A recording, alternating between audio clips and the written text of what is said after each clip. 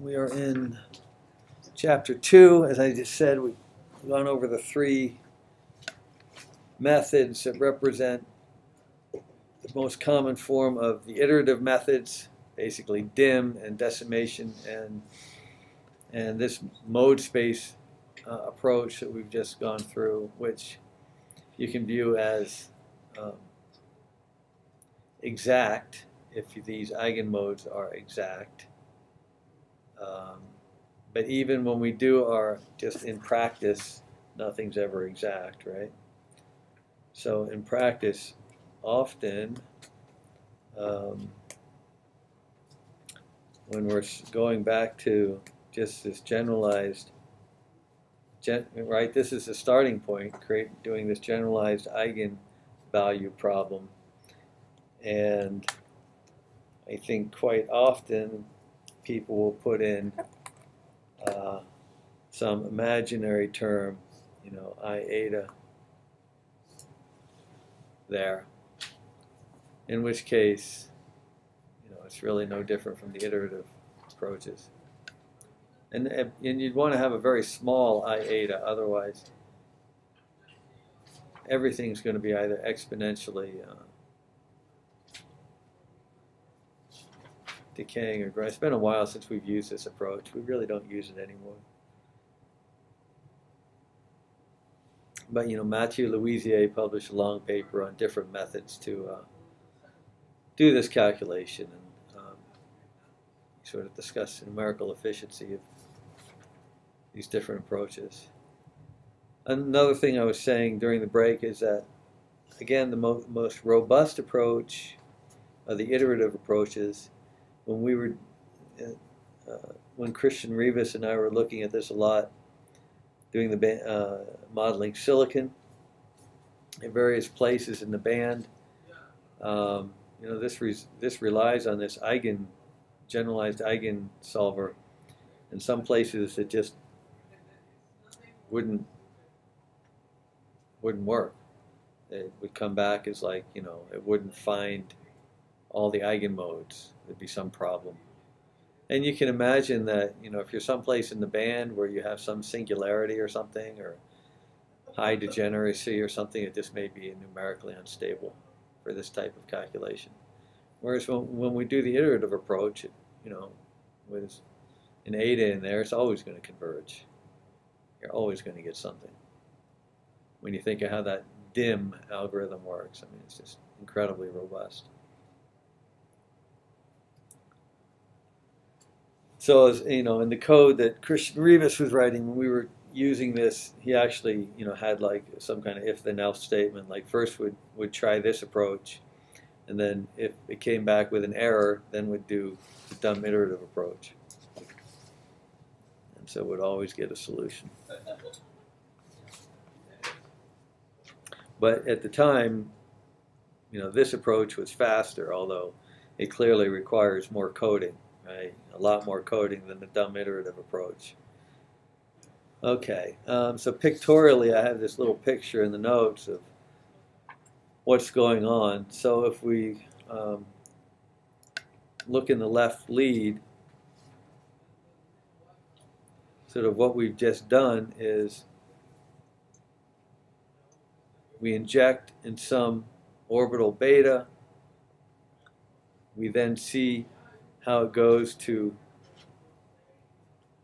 all other orbitals gamma. And I'm going to inject in one orbital, and so this is all at site zero. And then from all the other orbitals, it's going to go into the four modes, chi 1 through chi 4, so chi um, 1 all these will be my left moving modes. It goes into the four modes. These four modes propagate backwards to the left. Once you're in a mode, you stay in a mode, right? They're eigenmodes. And each one picks up a phase factor, Z, uh, 4 inverse, Z3 inverse, Z2 inverse and Z1 inverse. Each one picks up their own phase factor. And then back here at site negative 1, I pro project them all back to some orbital alpha. And that's sort of pictorially what the sort of projection we just did to relate g negative 1, 0 to g 0, 0.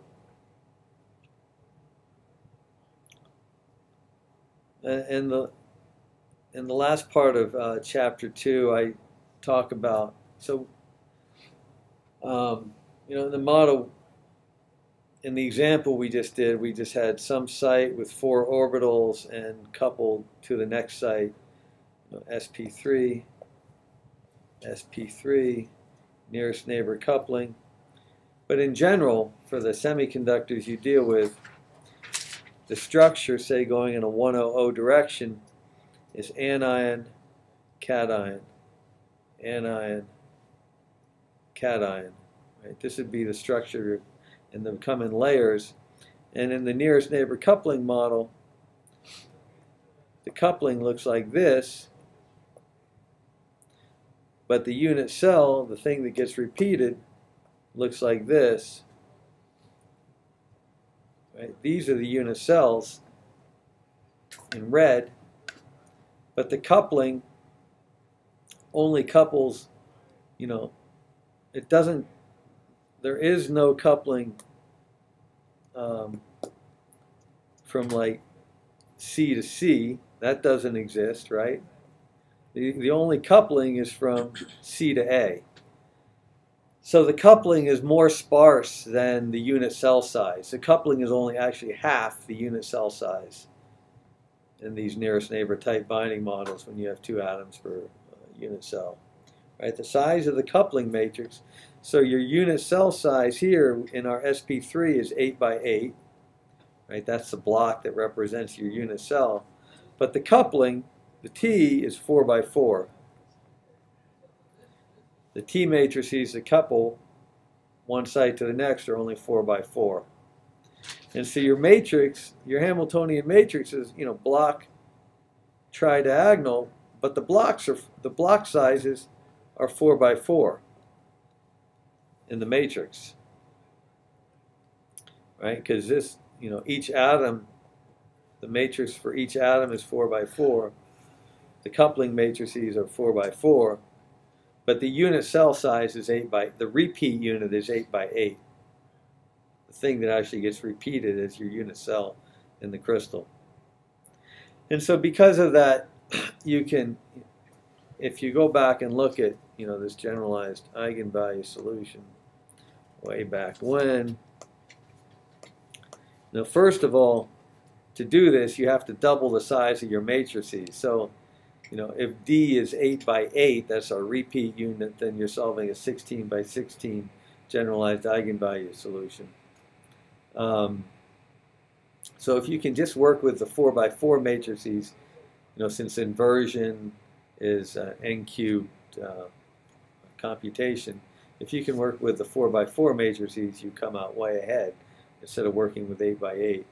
So the last part of the chapter is just, you know, going into the details of when you have a system like this, like silicon, gallium arsenide, in a nearest neighbor model, um, how to write the equation so you deal with the 4 by 4 matrices instead of the 8 by 8 matrices to do this. It's sort of, you know, um, goes into a lot of detail, which I don't think we need. You know, we just need sort of the understand the higher level concepts, and if you ever run into you know, something you know where to look for and you sort of understand what they're talking about. So that's the last what the last part of chapter two is about. How to take a system like this and uh, just do it efficiently so you work with four by four matrices instead of the actual eight by eight repeat units. Okay then, so now we are on to chapter three. I mean, everything we've done so far, we've really been thinking about some one-dimensional chain. But you know, in reality, you, you've got to model something with a finite cross section. you're never really just going to be doing a 1D atomic chain. And this chapter just talks about you know, what's involved with um, generalizing what we've done when you've got a finite cross section.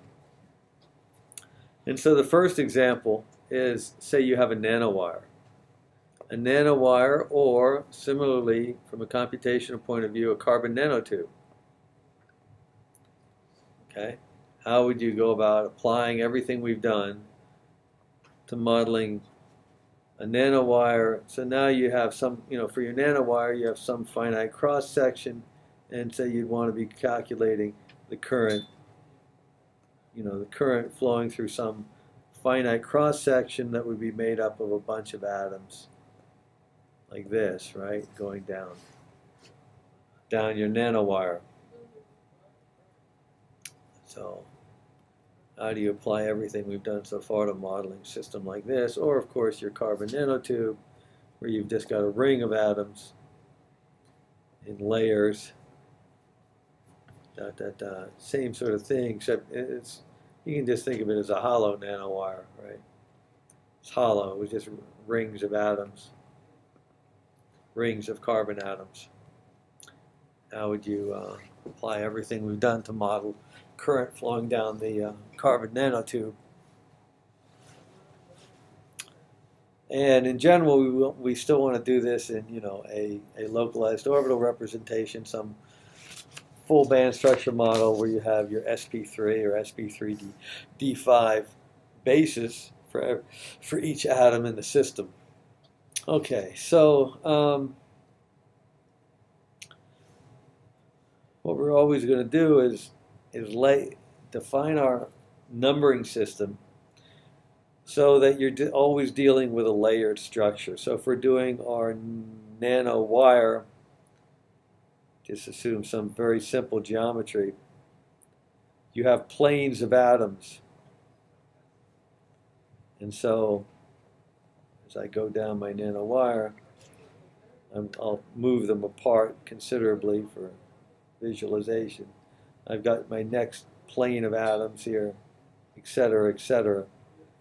And then each plane becomes what we've been calling my diagonal block in my Hamiltonian. So this would be D1, no, this would be D2, this would be D3, so all the atoms and all the orbitals become one big diagonal block in my Hamiltonian. And then my, my coupling blocks are the blocks that couple one plane to the next, like T12, T23, etc. And so if you lay out your Hamiltonian like this, and it still has exactly the form you know, that we've been dealing with, it's just now all the blocks are really big. D1, D2, D3, etc. And your coupling. T12, T21, T23, etc. The important point is it still has the same block tridiagonal structure. T, uh, 3 row column, 3, 2, etc. 0, uh, 0, 0, 0, 0, etc. So it has the same block tridiagonal structure. And as long as it has this structure, then everything works exactly as it did before, you know, your your your um,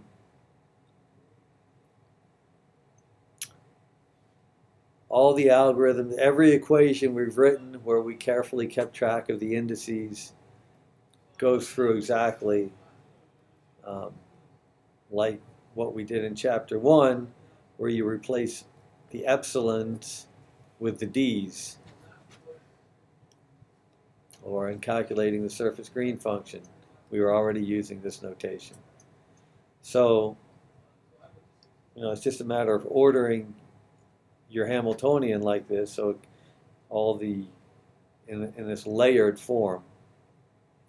And if your Hamiltonian looks like this, then we can use all the algorithms we've done so far. More, we the uh, iterative that um, our dim algorithm, you know, looks like exactly what it did before. You know, G zero zero would be our E minus D zero. That'd be your block minus uh, what is it T 0 minus 1, g 0, 0, t minus 1, 0, inverse. And these are all now your, whatever the size of these, each block is whatever the size of your D or T block is here. Right, so these just become your block, whatever the size of one of these big blocks is. And the same thing holds for our carbon nanotube. Um, I'm not even going to try to draw this. Let me see if I have my notes up. Oh, I guess I had to reboot. Okay, so this is what we just drew. Right? That would be like what you'd be dealing with with a nanowire. And the carbon nanotube is even nicer. It also, this is, I guess this is a um, zigzag carbon nanotube. Um, but again, it comes in layers of atoms. And you can see they've been numbered here. Um, the coupling matrices between like this layer and this layer are going to be different than between this layer and this layer. Simply because, you know, if you number these um, as you go around the circle of your carbon nanotube, this couples the same number, this hopping element here, this bond whereas this couples to like one number ahead and one number behind as you go from layer to layer. But the important point is that you you know the size of the blocks. So for your carbon nanotube, for your CNT, even though the structure of the matrix is different, the size of the block is uh, the same. So going from um, I guess the way he these were numbered, he was considering one layer one layer as, as like two atomic layers. Um,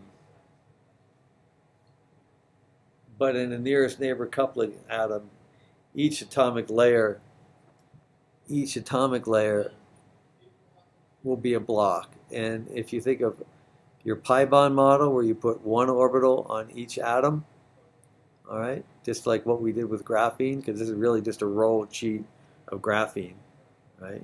And you model it with the same pi bond model. You'd have one orbital per atom, and then each layer, each each one of these where the line is, each one of these layers of atoms would become a block. So for a 12-0 carbon nanotube with 12 atoms, your block would be 12 by 12 by 12. You'd have a bunch of 12 by 12 blocks coupled by 12 by 12 block coupling matrix elements. Again, it would look like the exact same form. And with these, the atoms in a block don't couple to each other. But with the square. Well, then if you look at, again, if you look at, it's only nearest neighbor coupling. So this atom is only coupling to atoms in the layer behind it and atoms in the layer ahead of it. So only in different layers. yeah, right. But with that, the first nanowire drew, they would still couple to each other, wouldn't they? Because they're still. So right, so, it's just, so that's just going to affect. So for the carbon nanotube, the D block is just going to be a diagonal block, right? It's not. Uh, your, your D block is just going to be a diagonal block.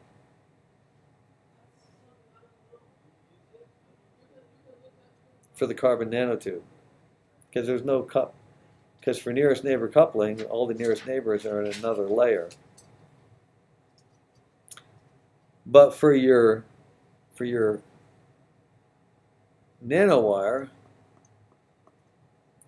your D block is just going to be a full, it's going to be completely filled in everywhere. Well, not everywhere. It's actually going to be, sorry, my bad. It's two-dimensional, so it'll be essentially a banded matrix. I guess for a two-dimensional tight binding model, it would be, um, what, five bands. It's going to be banded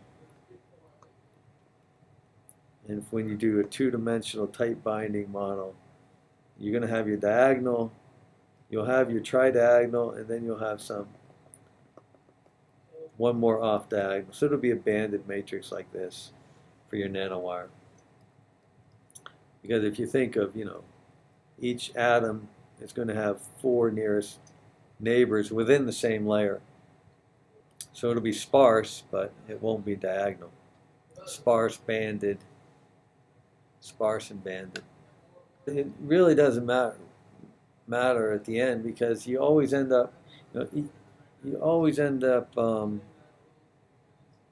you know, I mean, like here's where it shows up.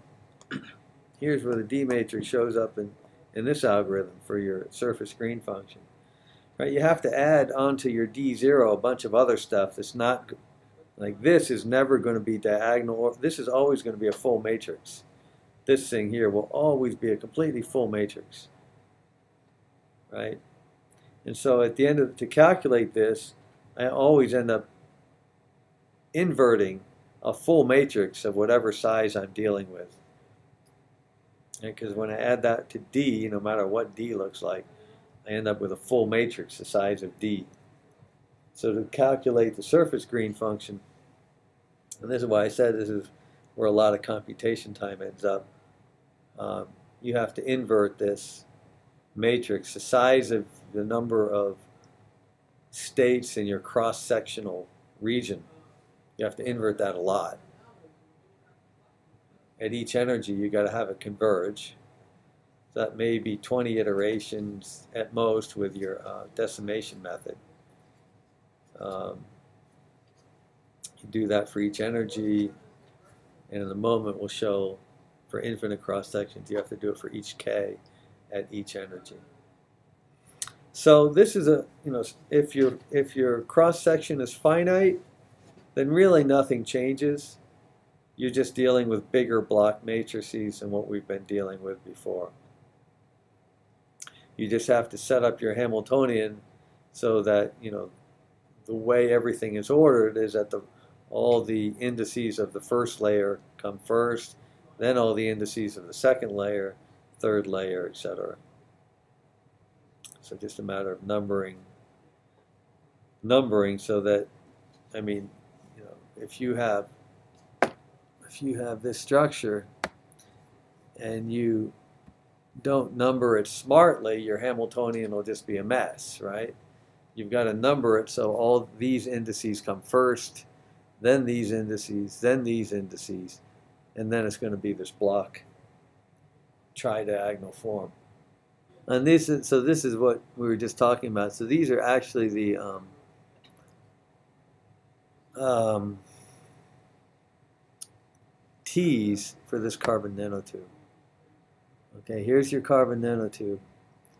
This is the T that couples you from layer 1 to layer 2. So once layer 1 1 to 2, I guess maybe from here to here.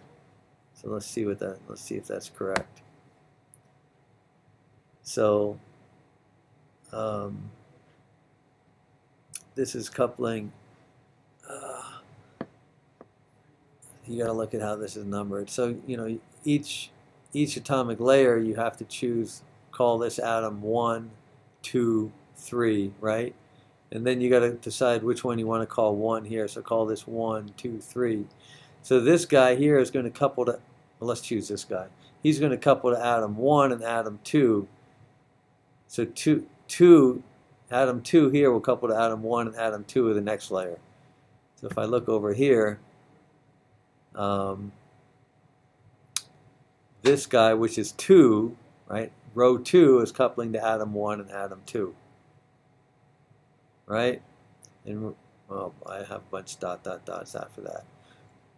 Atom 1 if you go back here, atom 1 is coupling to atom 1 and atom N, the last atom, because this thing is wrapping around on itself. And this is what we see here. So this guy couples to atom 1 and atom N of the other layer. Right? And if you go to the, if you go to, to uh, what's the, the next one? Uh, this, this guy here, these always couple to the same number. So this coupling should be diagonal, and that's what we see here. So the T's are all the same size, they just have different internal structure depending on which layer you're talking about. And so these will just alternate, just as the layers alternate. alternate one type of T, the next type, and then back and forth, back and forth. Anyway, so this is an example of, of what the T's look like for that um, carbon nanotube. And as I said, the diagonal blocks are just diagonal. So you got, for each layer, you've got a diagonal block, and then these alter, the alternating st structure of your T's. All right, so that's pretty much all we need to say about finite cross sections um, other than the fact that finite cross sections are painful because, again, because of this right here. The thing you have to invert to calculate your surface green function, and later we'll see in the algorithms we develop for calculating your transmission, you have to invert many times something that's the size of the, the block, something that's this block size. And it looks like here I go through some um, you know, estimation of what we're talking about. So if you did a nanowire let's say 10 by 10 nanometers, which doesn't seem too big. Uh, so in this plane there are 540 atoms.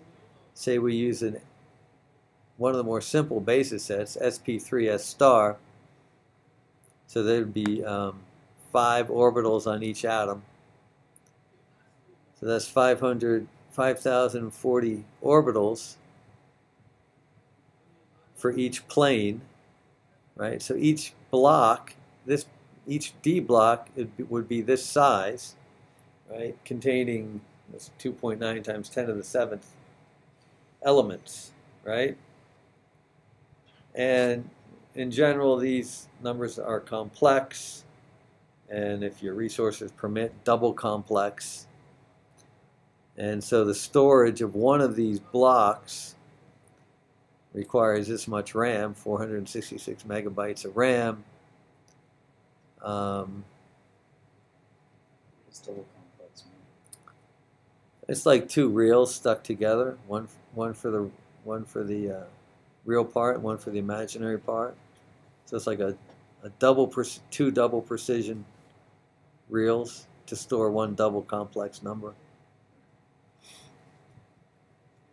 Um, I think MATLAB, I think, does it by default just use double precision and double complex? That's what I was told. I don't know enough about MATLAB. Maybe uh, it's one number and they will say uh, 16 uh, 53 bit for the mantissa. Oh no, I mean, as, complex number. I think- the 41 number. yeah, I think, I mean, usually, you know, a complex number is just stored as like two real numbers, keeping track of the real and imaginary. Yeah, right, exactly.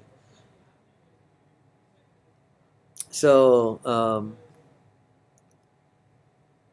let's see, 6.6 atomic layers per, okay, and so for each nanometer of length of your wire, you've got this 6.6 layers for each nanometer of length. So if you're going to do a 30 nanometer long nanowire, which is kind of short if you think of device modeling, to get all your electric fields to die out, you know, if you apply a bias, by the time you get to the end of the source and end of the drain, uh, you've got 198 atomic layers. Each layer has this, you know, 2.9 times 10 to the seventh numbers in it. Um, And so for each layer, you've got one diagonal block and one upper off diagonal block. And the lower off diagonal is its Hermitian conjugate, so that's sort of redundant information. And so if you wanted to store this entire matrix, that's 185 gigabytes of RAM, which you understand is nobody has 185 gigabytes of RAM. Even in your wildest dreams. I don't think any computer has enough slots to put in 185 gigabytes of RAM. And so uh, that's still beyond the capability of, I think, I don't know of any computer. I've never heard of any computer having that much RAM. Okay, but the saving grace of this is that the matrices are very sparse. Um, so in your nearest neighbor model, um, the non-zero elements are on the diagonal and six off diagonal. So at most, there are this many non-zero elements in the entire, sorry, typo, matrix of 198 layers. So there are only this many non-zero elements, and that's not bad, seven and a half million. That's no big deal. So there's strong motivation to use you know, sparse matrix methods to solve these equations. Um, and so a lot of the work that Mathieu Luisier and Klimeck did were directly using sparse matrix methods, and the one we're going to be using is the recursive green function algorithm. And this is why at the end of chapter one we talked about numerically efficient algorithms for getting the um, um, current and electron density because when you start looking at numbers like this, you quickly realize, you know, I really don't want to invert this matrix. In fact, it's impossible to invert this matrix. You know, I really only want to calculate exactly what I need and nothing else. And so those are the kind of algorithms we'll be looking at. And then, you know, starting in the 1990s, um, there was a decade and a half of carbon-based devices in which you know, first of all, the pi bond model worked really well, where you just put one orbital per atom, and that's really great. So instead of having needing 10 or 20 orbitals per atom like you do for silicon, you only needed one orbital per atom to get a good description of the band structure near, uh, you know, the important energies around the Fermi level.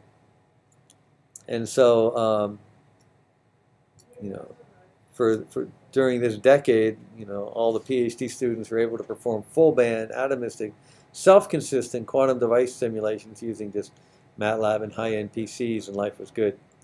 Unfortunately, the carbon era has kind of come to the end, and you got to do the hard work again. so there was a decade, at least a good decade, where students really didn't need to go beyond MATLAB. You could be lazy with your programming There weren't that many atoms. You could just handle it, just call. The, uh, what do you call it in MATLAB when you want to invert a matrix? Just, um, yeah, right. if you wanted the green function, you just call INV. But if you want to go beyond graph, graph a simple, some simple graphene or carbon nanotube, you quickly uh, have to do something more smartly. Okay, so right instead of these blocks of like a thousand by a thousand for a nanowire for a carbon nanotube, you had something like 13 by 13, and that was that's what Kai Rolle was doing. So he had he he was there in the good times, dealing with 13 by 13 blocks. Okay, so that's uh, that's really all there is to say about. Um, finite cross sections. It's really no different than anything we've done before. You just got bigger block matrices. And you just have to order order all your atoms in a way that they go, you know, that they come up, all the indices for the first layer come first, and the second layer, third layer, etc. So it's just, you got to set up your Hamiltonian smartly so it looks like this layered uh, tridiagonal block Hamiltonian. Okay, infinite cross sections. What do you do about infinite cross sections? Well, this goes back to stuff we did in 208, in which you handle infinite cross sections. And, and this is sort of, um, you know, like now we're dealing with 2D. I mean, we used, so we were dealing with, you know, back before the carbon nanotube era, with 3D, you'd go looking at, say, vertical transport, and you'd, you'd assume you're dealing with an infinite cross section in X and Y, and you'd calculate the transport in the z direction. And that's what we were doing with the NEMO 3D program, looking at transport through the 3-5 layered structures. And now in, say, the 2D era, you're looking at transport. You could go be looking you know, down through the layers, in which case it's no different from what we did before with the 3-5s. Or you can be looking at transport like in an FET along a layer in which you only have one you assume the width is infinite, like in a transistor. For the most most people assume the width is infinite because that's actually easier than dealing with a finite width because the width is actually rather wide, especially if you're doing something fully atomistically. And so the question is, how do you handle that? Infinite cross sections. And so the way you handle it is sort of similar to the way we handled, you know, infinite in 208 we did infinite in like all three dimensions and we handled that by um, transforming our basis from the localized orbital basis to this Bloch sum basis and going into something that was a function of the orbitals on the repeat unit and k as a function of k. So we introduced k to handle your finite cross section and then um, when we do transport, we're going to have to finally integrate over that K. But instead of doing um, what we did in 208, so in 208, this uh, position, you know, this was a three-dimensional vector. It ran over all the unit cells in your crystal, right? This is the way we created our Bloch sums in 208. Now in 212, to handle this, we introduce what's called a planar orbital basis. So planar orbital basis, which means that you only um, do this Bloch sum, say this is your structure, and that these planes are actually infinite in x and y. Each one of these planes is infinite in, in x and y. Um, and so you're going to go into the Bloch sum basis in kx and ky, but you'll treat it in the localized orbital basis along your propagation direction. And so if you look at, you know, this is what we wrote before, this is what your Hamiltonian is now going to be a function of k. So all these all these block matrices now become functions of k, kx, but this k is only kx and ky. This k is only a two-dimensional K. We're doing transport along Z. This is just Kx and Ky. And so for numerically, when you're doing this, you have to create a numerical grid for Kx and Ky. You choose a Kx, Ky, and you create your Hamiltonian matrix elements just like what we did in 208. So before in, two, in 208, R ran over all three dimensions. Now again, I was thinking of the like three fives of silicon and the 100 direction, where each layer consists of two atomic layers, one layer of anion and another layer of cation. So this is the repeat unit. Right? They come in layer alternating anion and cation. The repeat unit is an anion cation layer. When we do this sum, we're just R is now a two-dimensional vector in the xy plane. Okay, so basically this is like you know, your discrete Fourier transform, but only in x and y. And L is the layer index for Z. L is your layer, your layer number. So Z is still treated in uh, your, lo your localized orbitals, and K only represents uh, by doing this, we just, you know, bring the whole XY cross section down to a single unit cell in the XY plane, so the two atoms. And so now each, if we think of, um, you know, just an ideal crystal like this, and think of silicon or gallium arsenide, each one of these blocks, instead of being, you know, if this were a nanowire, the block size would be whatever this is. The block is now your repeat union, which is just your two atoms and the number of orbitals on those atoms. So instead of going from this massive thing, for the infinite cross section, we're back down to our unit cell. Let's say sp3s star, um, five orbitals per atom. So my block size would be 10 by 10, right? My block size for each layer would only be 10 by 10, but it's a function of k. But you are only taking one plane. I mean, that's one plane. So, I mean, that's what determines your block size. So, like the block size of this D. This is my block. When I talk about this block, mate, each one of these is a block, right? So this block size is now, say for silicon or gallium arsenide, sp3, that would just be a 10 by 10 matrix for each to represent each layer. The couplings would be 10 by 10 also. So now instead of this massive 1,000 by 1,000 that I needed for a nanowire, for the infinite cross section, I'm back to something reasonable, 10 by 10. But I got to do this, I got to integrate over k now. So I got to do it a lot more times. But that's generally an advantage because, again, you know, inversion is an n cubed process.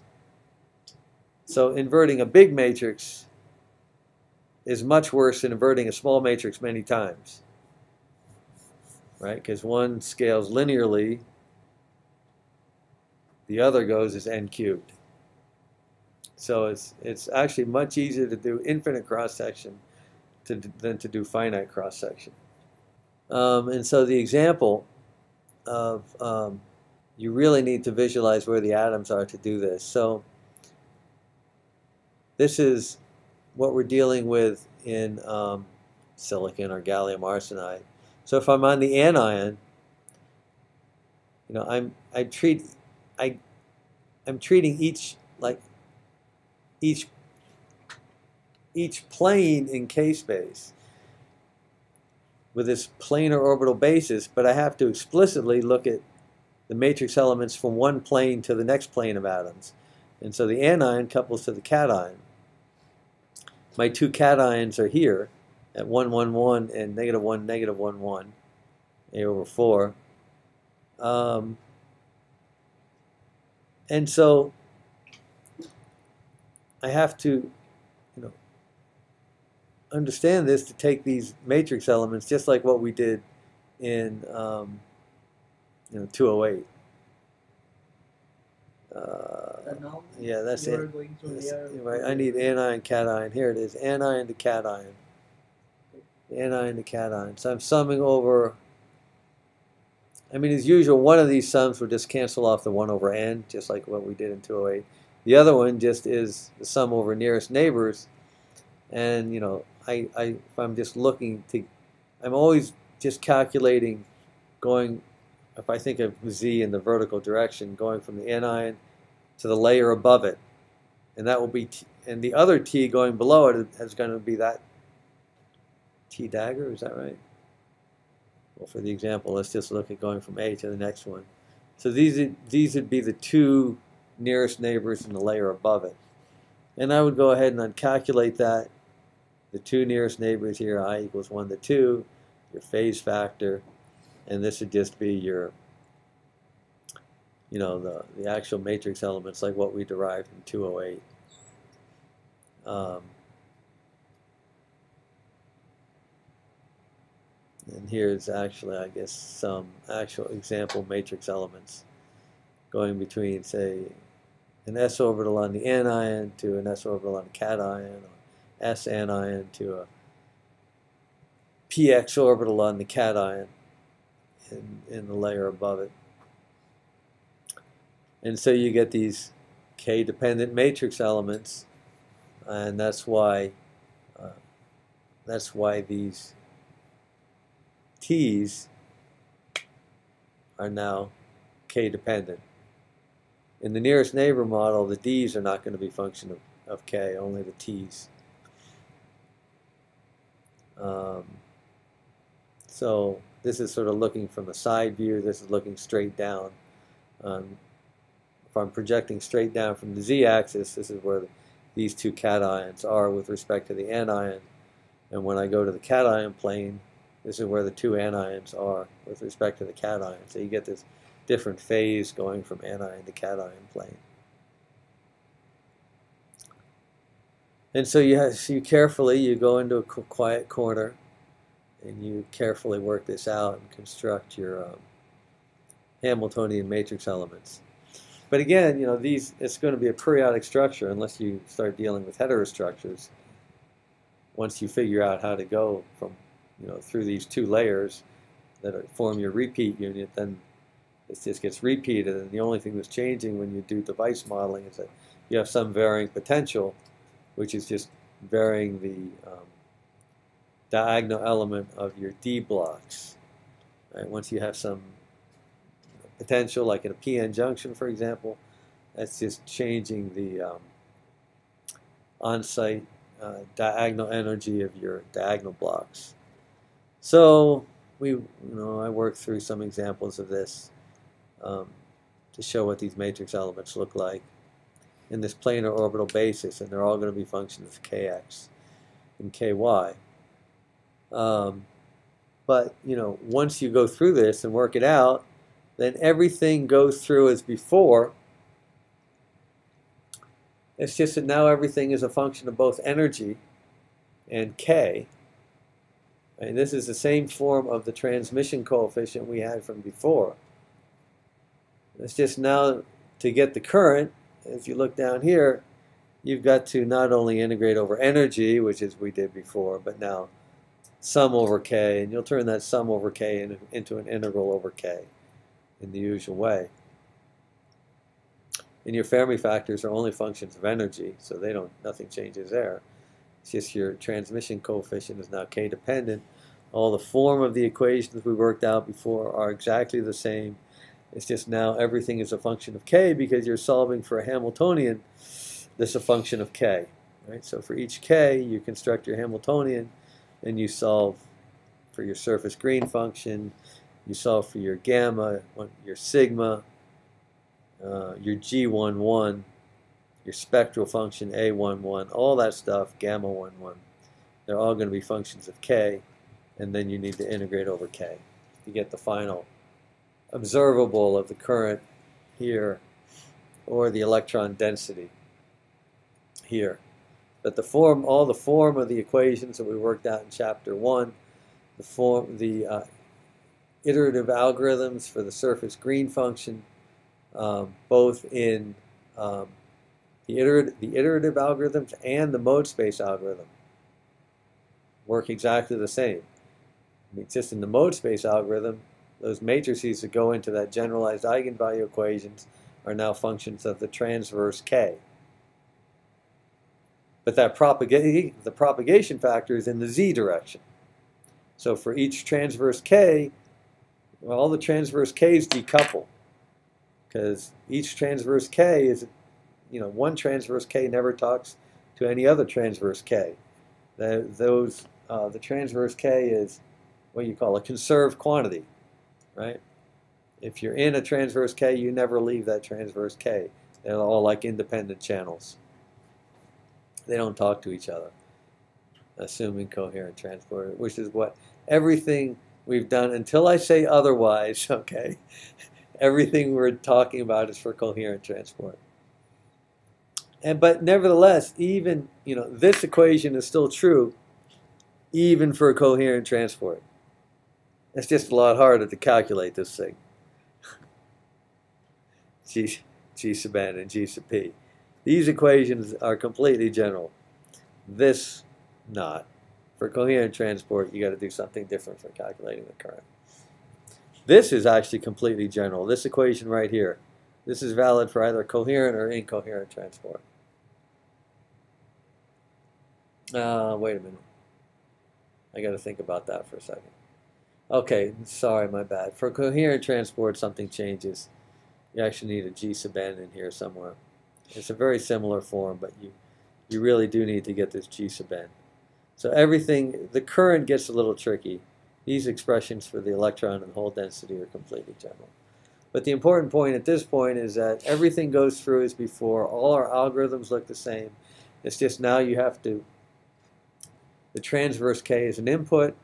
So for each transverse k, you just have to numerically do it and integrate over, sum up all your, all your things at the end to get your observable of dense electron density or uh, current. But in terms of the negative equations and algorithms, it looks exactly the same. And this is why from the beginning I started writing out everything in terms of these indices because this is the way they're going to come out when you when they become matrices. All right, your density of states. So before it was just like, you know, the spectral function divided by like 2 pi a. Well, now it's your spectral function. You take the trace, because this is a matrix, right? So you take the trace, you'd integrate over k, and then it's the same as before. You still have your 1 over 2 pi a to relate the spectral function to the density of states.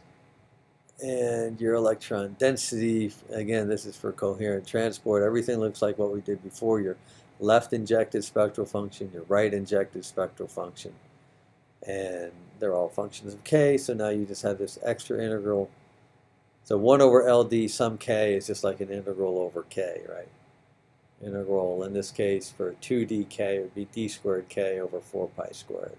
And finally, so this is, if you're using a full band model, you sort of just have to do everything numerically. It's a bit painful. It can be rather painful, but you just have to do anything, everything numerically.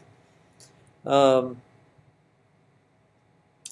but if you're using like, you know, a um, an effective mass model, then a lot of times you'll see these integrals over the transverse k done uh, analytically. And so you see expressions like um, like down here often, or some factor out front like this. So this is for um, uh, let's see, which one, which example is this? So for d equals 1, what's d equals 1? I see. So in this case, this would be like a um, an FET where you only have you know one transverse K, right? You're in this planar channel and you only have KY corresponding to the infinite width of your FET, right? And so you would have you would have to do this sum to get your current. And so you convert that into an integral um, in the usual way. And the thing is, your transmission is,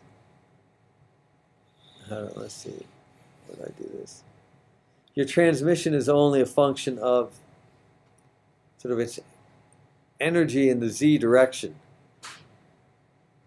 It doesn't depend on, how do I say this? Um, so the energy in the z direction is like your, um, you know, your velocity in the z direction.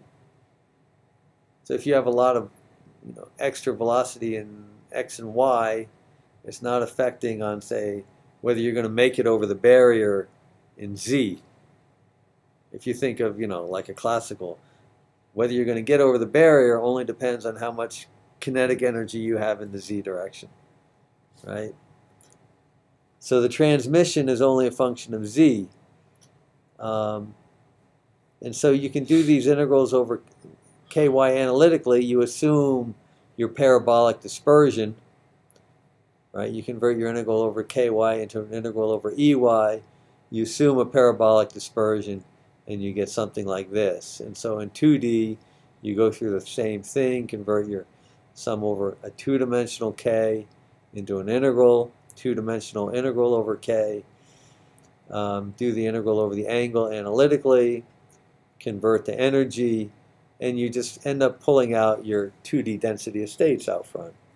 And if you recognize this, this is your 1D density of states, right? And so the expression, the analytical expression for the current in, um, for the one, if you just have, like for your FET, where you just have KY, becomes this. Um, so T is only a function of you know, E sub Z, and your Fermi factors are a function of the total E, EZ plus EY, right? And so you've got this integral of your Fermi factors, and that just becomes these F, you know, script F to the minus one half, which, I don't know, maybe, you know, you need a, a some, you can't do that analytically. But this is, you can just call, this is a, the standard form for your you know, Fermi-Dirac integral of order negative one half.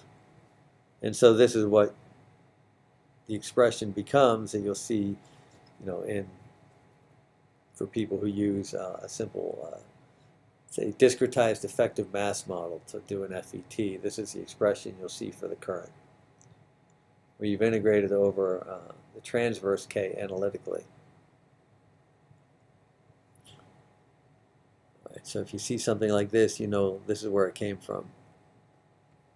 Um, and I guess for, for 2D, where you're going down through a two-dimensional cross-section, like vertical transport, then um, well, the only thing you pulled out your 2D, your effective mass, your 2D effective mass, you can do this analytically. This just gives you this log function, which, you know, if you look in the literature for any amount of time, you'll quickly run across expressions like this, for the current, where this is just coming about by the integral of your these Fermi-Dirac factors over the transverse K or energy.